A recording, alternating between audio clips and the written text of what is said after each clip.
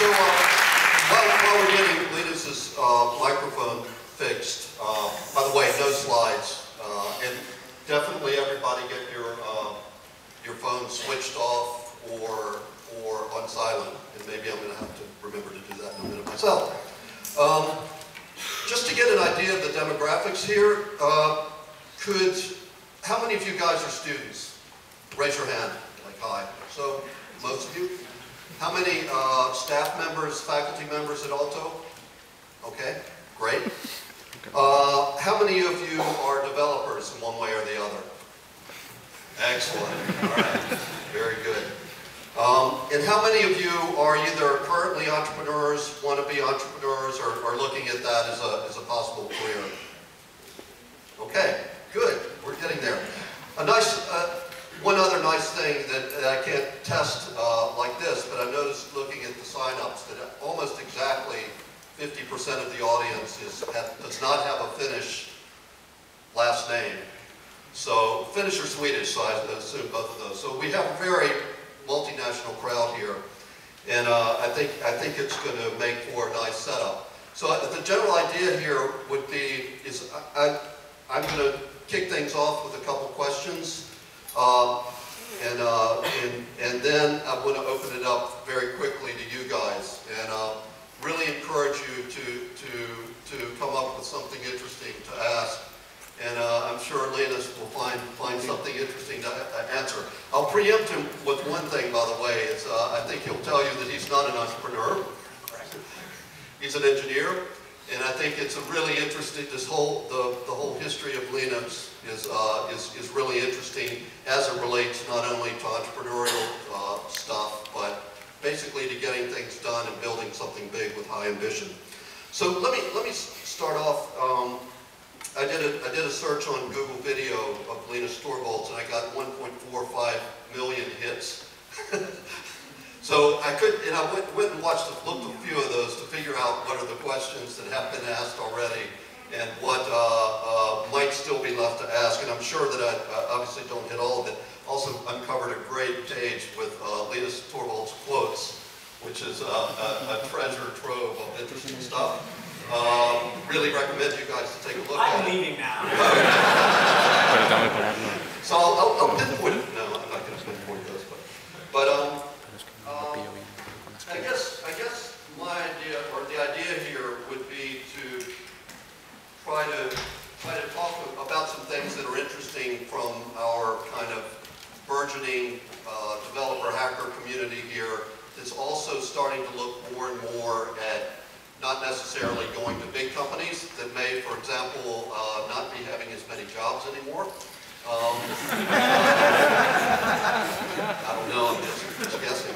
Um, uh, but also for, for roles in, in any kind of enterprise uh, and government even. So I think uh, we really try to look at the idea of, of, of, entrepreneurship as more deep down as something that's kind of driven from within and it's, a, it's more of a way of thinking.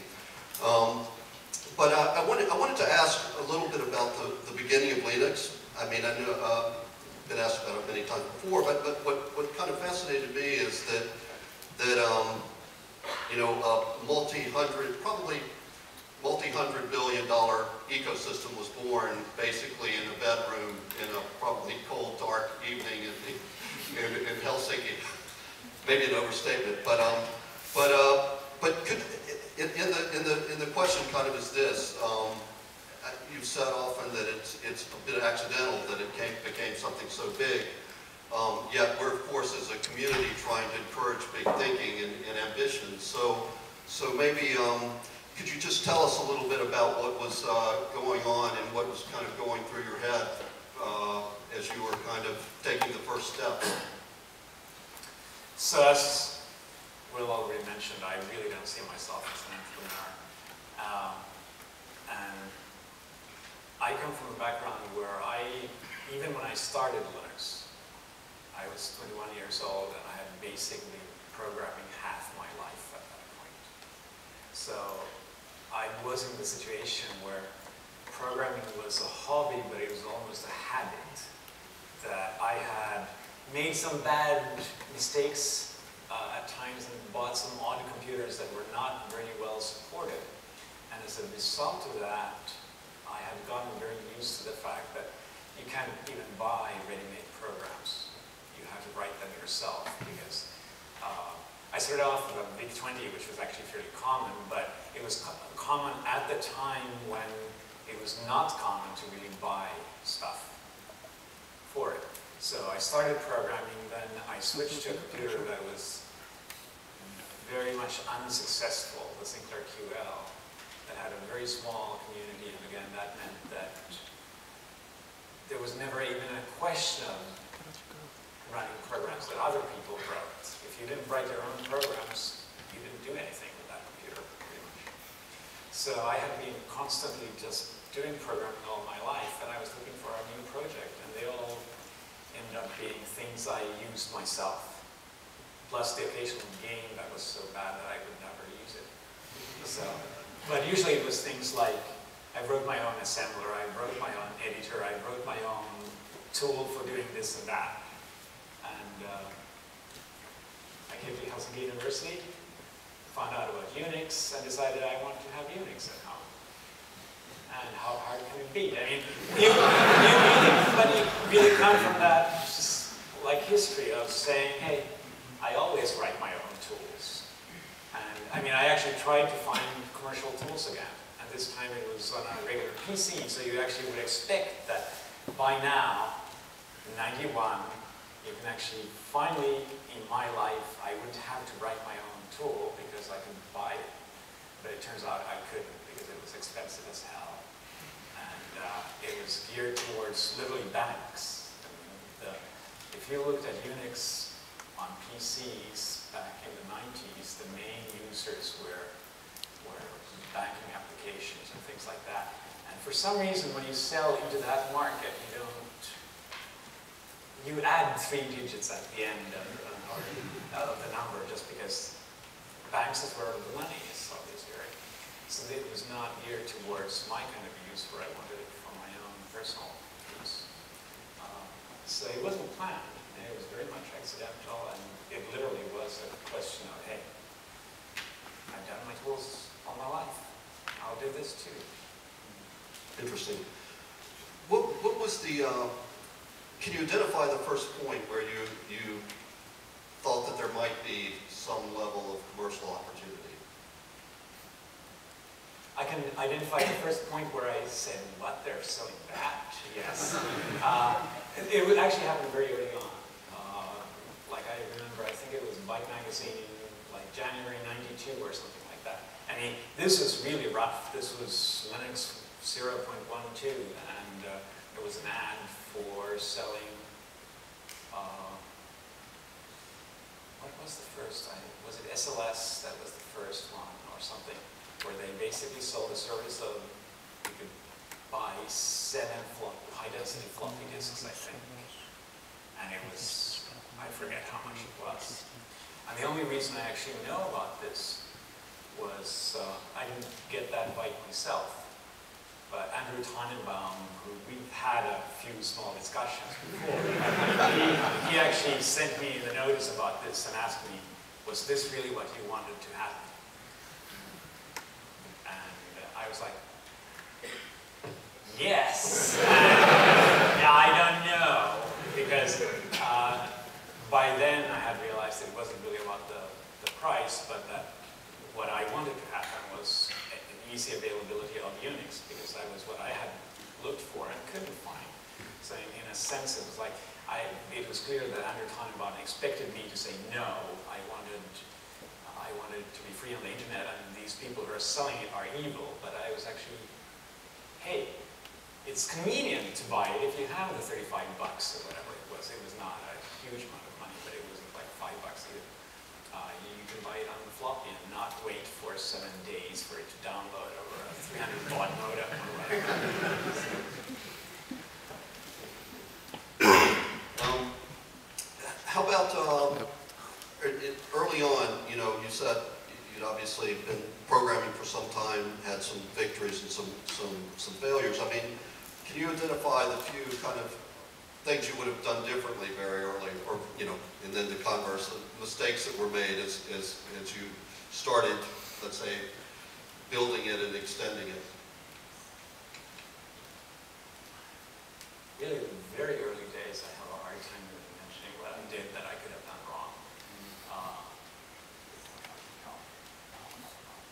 It really, none of my programming career was really planned. It was a passion for me. I started programming when I was so young that I read all these books about assembly language.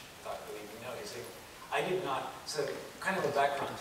I did not understand that assembly language was supposed to be the symbolic form of, of as machine code. So I always called what I wrote assembly language, even though what I actually wrote was the literal numbers. I wrote the machine code because I, I did not have an assembler. So to me, assembly language was the data statements that had the numbers in them. That's how I started doing assembly language. And uh, anybody who actually knew what they were doing would have called that machine code and would have bought an assembler because they realized that's just stupid. But I didn't know what I was doing. So I literally, for several years, uh, including my first few months with the Motorola 68K, I would do the assembly by hand and actually write machine code. So that was just because I didn't know what I was doing. How, how about is, uh, is it, you know, then fast forward to the kind of Linux community starting to build, um, in terms of management of the community, community, I mean, I think this is a, I guess Linux is known to be the biggest collaborative effort of mankind. I've read some, I think Wired called it, or something like that. But obviously the management, how did, how did you get it going? So I actually think building the pyramids took a lot more planning than Linux. Because one of the things that I think is really interesting, uh, there was zero management, there was no logistics, there was no planning going on at any point, and what happened was through open source, people did what they were good at doing. So for example, I still don't maintain a website. I have never in my life done any web programming because I'm not interested.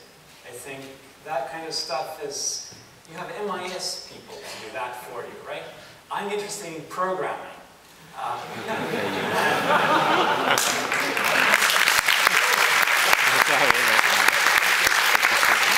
But there are people out there who, who they set up a website and do all the DNS magic, and they can do it in their sleep because, that's what they do, and they don't even think of it as their job. It's just that something that they do on the side. And, uh, and the that's what happened when, when I put Linux up for FTP fir- for the first time. I never figured out how to set up an FTP site, right? There was somebody who did it for me, Sari Lemmke. There was, uh, the, when business started happening, I didn't get into this for the business side. I wanted to do, again, programming. So when other people started selling Linux, I, Linux, I was like, yes, now I can avoid caring about that side too. Uh, I got out of, for the very early versions, I had to do my own programs in user space just because, I mean, I was the only person there. So for the first couple of months, I would release not just my kernel sources, but I would also release two disk images. And two disk images because the first disk image was the binary version of the kernel disk, so you could write it to the boot floppy, and the other disk image contained your boot file system. There was no init, there was no init. Init is too fancy. We only need a boot shell, and that's it. That's how real men do things. Then somebody else came along and said, hey, this is stupid, you need to have init. And I like, I do? And, and, and they just did it. And I stopped doing my disk images because, again, that was not what I was interested in. So the, the real power of open source, as far as I'm concerned, well, one of them, is that different people are good at different things, and different people have different interests. And what open source really allows is that you don't even have to, you don't have to do the planning ahead of the logistics of setting up a company. And I, I realize this is about entrepreneurship, and you should set up a company, and you should know that you need an MIS person, and you need an executive assistant, and you need this and that, and, and you need to know how to balance the books. And as far as I'm concerned, the big advantage of open source is people do what they're good at and they automatically gravitate towards that. If you're good at doing a website, you like doing that kind of things, you just do it. And, and that was very interesting how there was no planning involved because we didn't need to plan. It was all very organic. And that's actually how the development has worked too. That we have, I mean, we've had some situations. We've had the source control management issues. We've had that happen a few times where we had really painful problems with maintaining the source code and, and having to, to completely change how we did things. And then we really had to do that in a planned manner. And those did not happen randomly. But those are actually very few. Most of what happened in, in Linux development was very natural. The, the hierarchy we use for doing development, the fact that I work with 10 maintainers, roughly, 10 or 20 maintainers who all have their own sub-areas, and they have their sub-maintainers that they work with and they trust, and and they have their portion of their sub areas, and we have this network. It wasn't like we designed that either. It's just happened because that's how people work. Uh, so a lot of uh, a lot of Linux development has been very,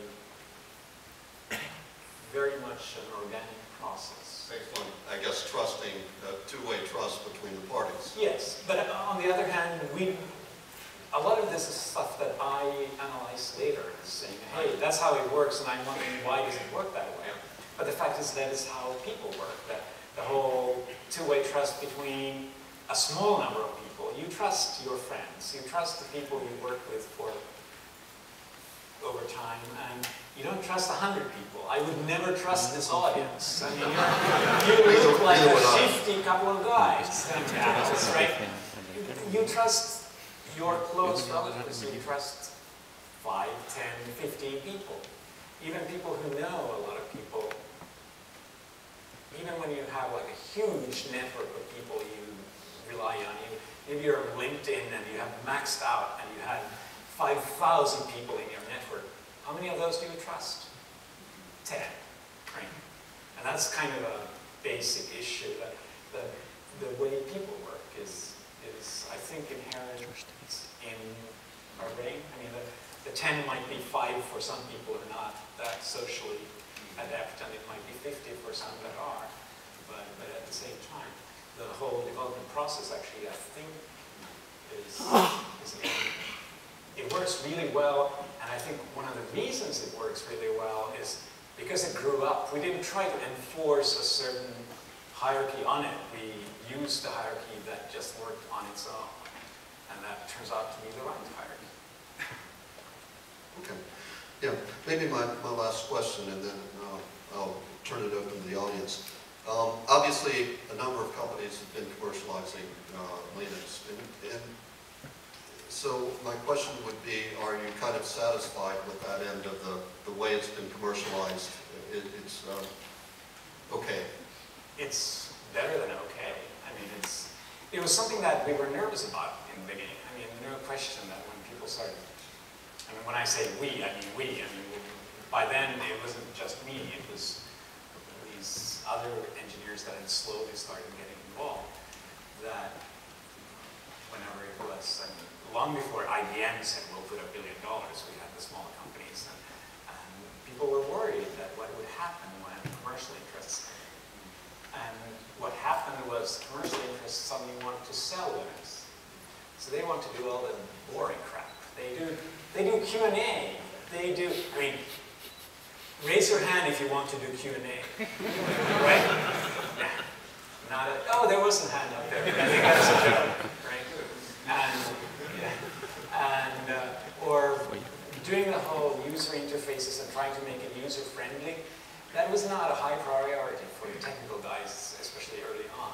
So the, the commercial interests actually forced Linux to become much more well-balanced than that. I mean, I'm sure we've had our clashes, but at the same time, without the commercial guys, Linux would never have gotten where it was, which is kind of sad looking at so many of the open source projects, especially at the time. I think that has changed but especially at the time, a lot of the open source projects were very much anti-commercial. And there was a very strong uh, we need to keep this free and pure, and companies are evil inherently, and trying to sell it leads to bad problems. Uh, and uh, I think and hope that mentality is largely gone now, but it's only was there. Great.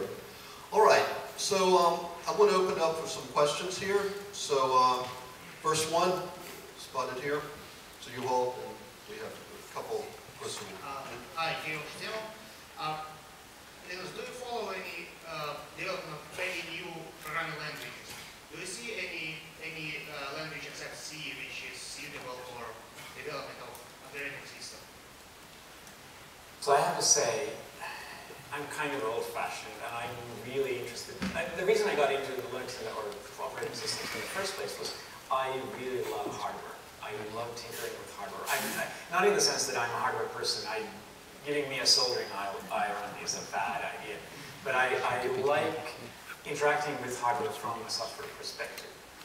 And uh, I have yet to see a language that comes even close to C in that respect. It's not just that C, you can use C to generate good code for hardware, it's that if you think like a computer, writing C actually makes sense. I mean, and, and I think the reason it works that way is the people who designed C designed it at, at a time when you, I mean, when compilers had to be simple and the language had to be kind of geared towards what the output was. So when I read C, I know what the, the assembly language will look like. And that's something I care about. The, I don't do a lot of programming myself anymore. I'm a technical lead person. I merge other people's code. But if you go and look in the Linux history and look at what I do, the last few months, the kind of code I've changed, I made sure our uh, filing path lookup takes as few cache misses as possible. And uh, all that code is C, but in order to really be able to, it's optimized at the level where I worry about single instructions kind of thing, and especially single cache misses. And I love doing that because that's, it's completely, I mean, to some degree people say you should not micro-optimize. But if what you love is micro-optimization, that's what you should do. And we made sure our algorithms are, are, are good before we started on micro-optimization. So uh, I'm very proud of the fact that we look up path names way faster than anybody else, I guarantee you. And we can do it in parallel on a 1,000 CPU machine with no attention. I mean, that is something that has happened in the last 18 months, and that is impressive. I mean, you don't know how impressive it is until you've worked that code for, I mean, I thought we'd never get there, but we're there now. So, so that's the kind of thing that really excites me from a technical standpoint. Next one back here. Linus, I was about to ask you a question already this morning, but didn't have a chance. Uh, The Linux operating system is not de facto for the service platforms, that's for sure. And even nowadays, it's being used for some mobile devices and for the many of network switches and so on, but it's never been, uh, never reached really the nature of being completely at the desktop level. Right. Why? Uh, this is my personal failure in Linux. Uh, I started Linux as a desktop operating system, and it's the only area where Linux hasn't completely taken over. That just annoys the hell out of me.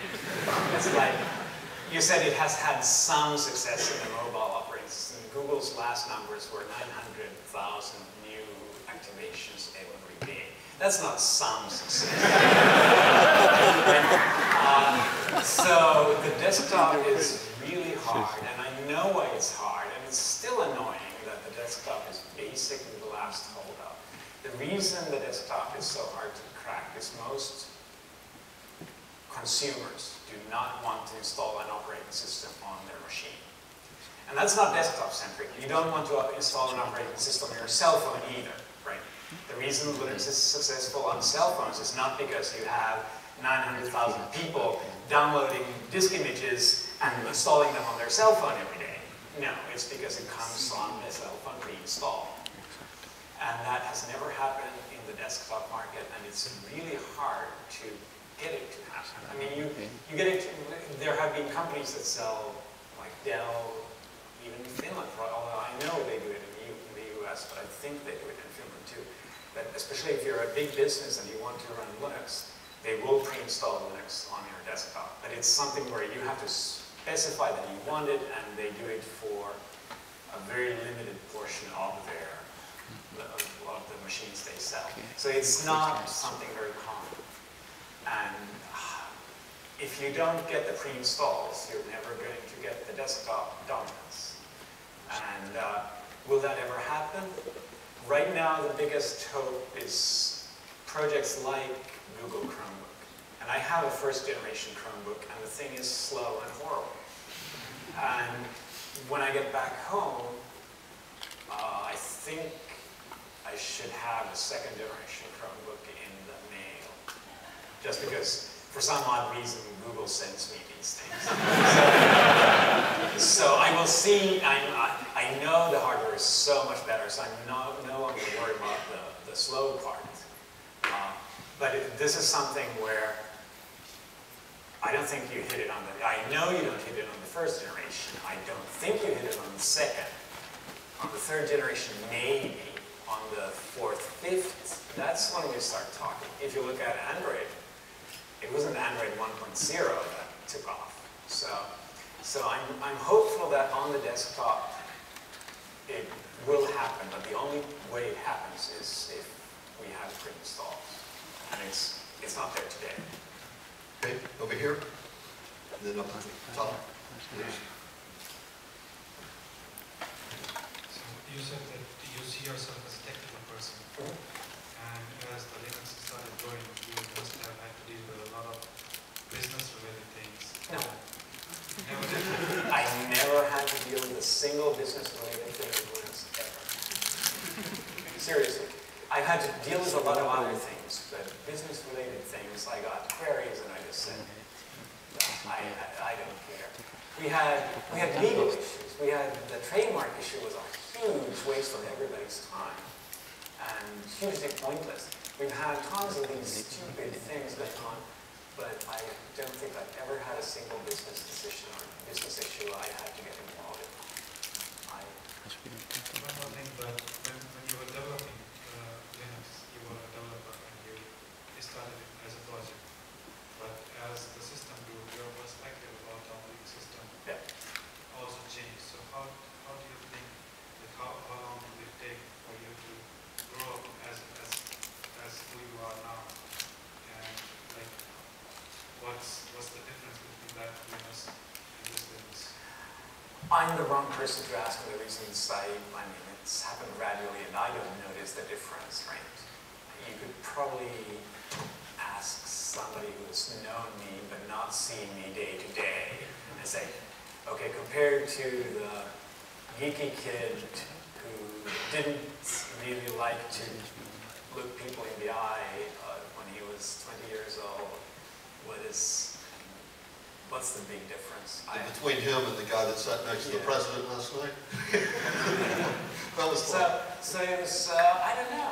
I mean, one of the things that still makes Linux interesting for me is A, that technical challenges keep on changing. So we still do the relevant technical work. I mean, there's no question about that. But part of it is my,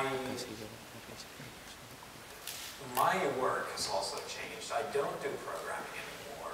I have had to make things like Git and try to make process changes so that the work scale better as a community.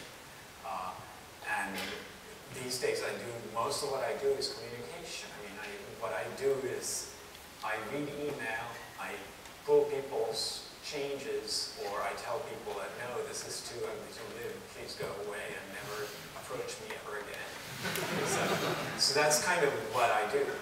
And, and that has changed over time, and that has kept the whole thing interesting for me, and I think for, I mean, there's, there's literally people involved in Linux development who I remember coming in maybe in beginning of late 91 and certainly early 92. So there are other people who have been involved over 30 years. Not many, but Okay, back there and then to the front row here. Uh, hello, my name is Miguel. I run an open source. Uh, Can you speak a little louder? uh, I'm Miguel. I run a, an open source company based in Portugal. And I'm wondering uh, about the state of patent wars uh, around companies. If you are going to do uh, Linux again, the kernel again, what license would you choose? Um, I, the one choice I'm really still very, very happy about is the license choice. Now, admittedly, the GPL version 2 is not the original license. The original license was something I wrote. It was like three lines of code, and it says, you may not charge money for it. If you make changes, you have to send them back to me. Maybe it was only two lines. C one and two. So, um, but I'm completely convinced that GPL version, version 2 is the right license. And that doesn't mean that it's the perfect license. It's, it's still legalese and it's still, there's gray areas in the license that it could have been, it could have been better. But I really very deeply agree with the things laid out in the GPL version 2. Even though I then very deeply disagree with most of the stuff that comes out of Richard Stallman's mouth. So the two are not in any way, you don't have to agree with Richard Stallman to still like GPL version 2. Uh, so I would not change that. I mean, I would not change the license, that's for sure. There might be other things I would do differently, but I can't think of them either. Um, you think Linux is in good hands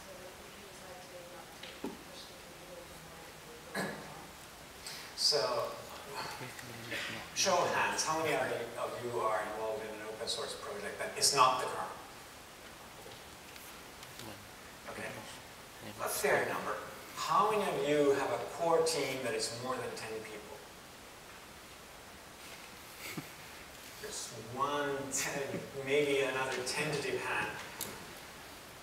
The normal size for most open source projects are three people, roughly. I mean, there may be people here, I mean, there were a couple of hands that had more than 10 people.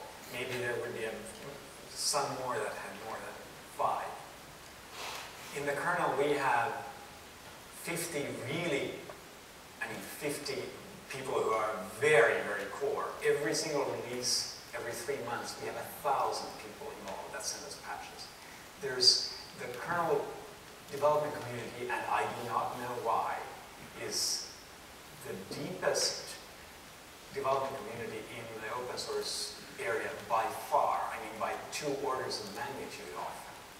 And uh, if I disappeared tomorrow, there would be, I mean, there, we'd all have to raise the flag to half-mast. And, and it would be really sad that nobody would even notice and not quite true, but there's a lot of people, I mean, Uh, it's not that I make decisions, but definitely most of the real work is done by many people.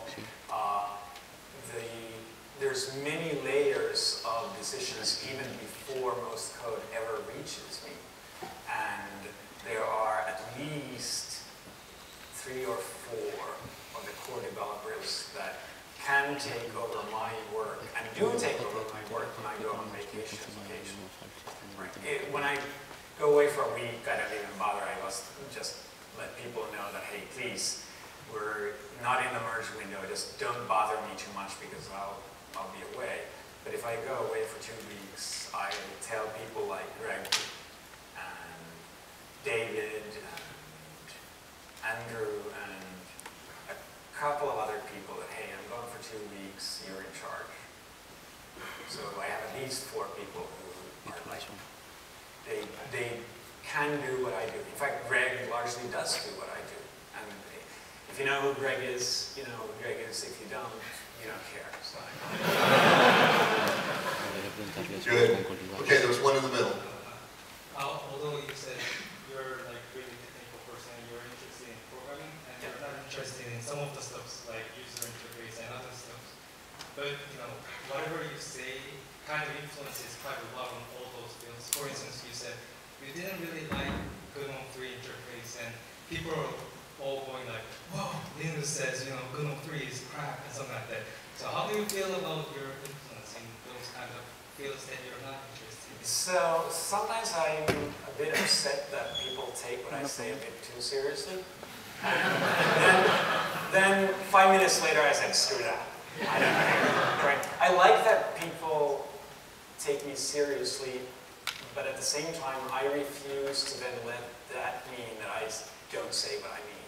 I mean, I've always wanted to be very honest in my, my statements. Uh, I use strong language on the internet to the point where some people feel offended, and that's their problem. I, uh, I actually think that especially in a community like uh, open source, other developers need to know how I feel about things. I'm not, I'm impolite because I'm impolite. I mean, I'm not making excuses for that. But I also actually believe that when, when you work with a lot of people, it's better to be really open about your feelings so that you don't have people who by mistake misread you. Uh, I've had that happen. I, I have literally had developers who were working on things that I didn't really like, but I didn't shut down early enough. They worked on it for a long time. They felt that it was ready. They submitted it to me, uh, and I said, no, this is horrible. Because at that point I had to make a decision. And uh, in at least one of those cases, I had some other friends basically email me later and saying the guy is suicidal. Right. I mean, I, and that's not my fault, but at the same time, I, I, I, if I'm open early on and saying, hey, this is going down a direction that I don't like, I think that's actually healthier for everybody involved instead of me stringing people around along and trying to be polite. So partly it's my personality. I am blunt and I am from Finland and I tell people what I feel like. But partly it's actually a conscious choice to say, no, I'm not going to tone it down just because somebody might be hurt. Thank you. Interesting. Okay, over here. So, many things happened. Um, Linux was accidental. Git was accidental. What- Git, actually, I'm proud of Git. I want to say this. Yes, Uh, it was accidental. It was, the fact that I had to write Git was accidental, but Linux, the design came from a great mind, and that great mind was not mine. I mean, you have to give credit for the design of Linux to Kernighan Ritchie and, and Thompson. Uh, I mean, there's, there, there's a reason I like Unix and why I wanted to redo it. I do want to say that Git is a design that is mine and unique, and I'm proud of the fact that I can damn well also do good design from scratch. Okay, you- So, what's- so what's the latest accidental thing that?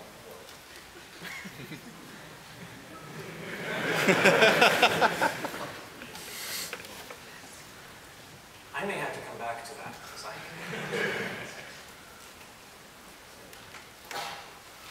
I mean, we've had a lot of stuff that was accidental. I mean, the fact that, uh,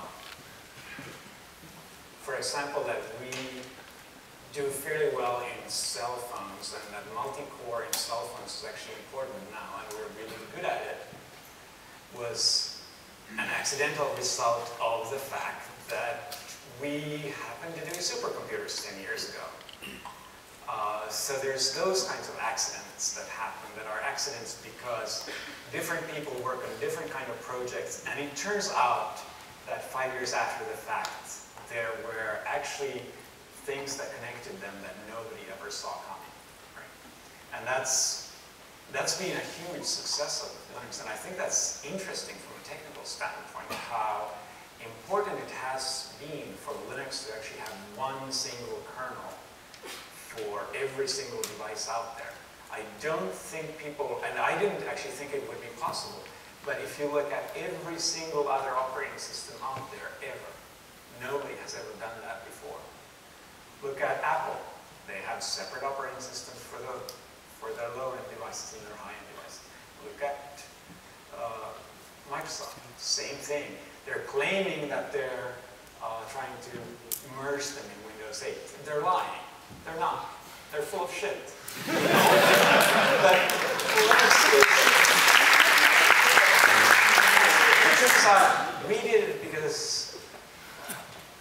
I actually care about beauty, and it turns out it was nicer to do it the way Linux did it.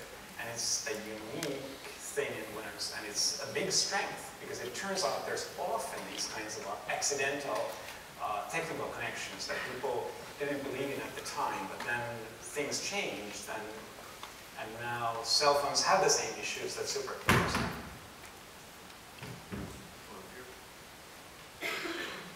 Hi, I'm uh, interested in the time that you spent at the university back in the early days. And uh, I know that you were at least briefly a member of a research group, and I was wondering what kind of experience that was. And I know that you did some teaching assistancies, which turned out to be surprisingly beneficial in meeting your wife and so on.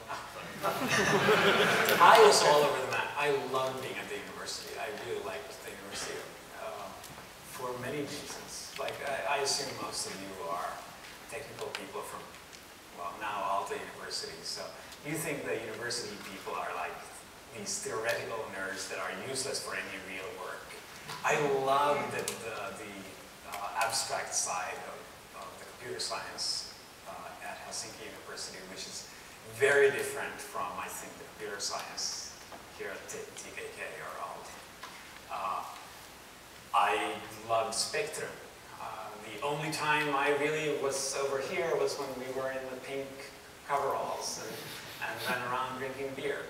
Uh, I was a TA at university. I did, uh, I did uh, a stint for half a year or a year in the Henry Tirri's research group it was interesting, and it means that yes, it took me like nine years to get a, a master's degree, which You're pretty fast.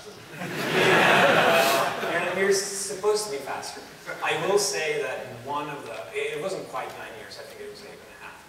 One of the years was literally me just, I could, forcing myself to write the thesis. I had everything ready, and I'm one of the, I, there's a lot of people like that. I know I've heard other people have exactly the same issue. You have everything done, and the only thing you have less left is the writing of the, your final thesis. And uh, one of the impetus for, for actually moving to the U.S. was I got a, when I got a job offer, I was saying, okay, this will finally force me to do my thesis because I, I refuse to, to leave that university half done. So, so I, I actually didn't get my, the papers from Helsinki University until after I already moved to the US, but I had finalized everything.